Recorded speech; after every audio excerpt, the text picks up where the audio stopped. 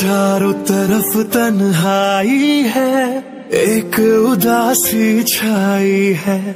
सोच के उसकी बातों को आँख मेरी भर आई है।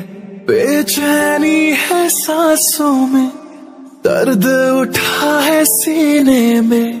बिछड़ के अपने दिल पर से आए मज़ा ना जीने में।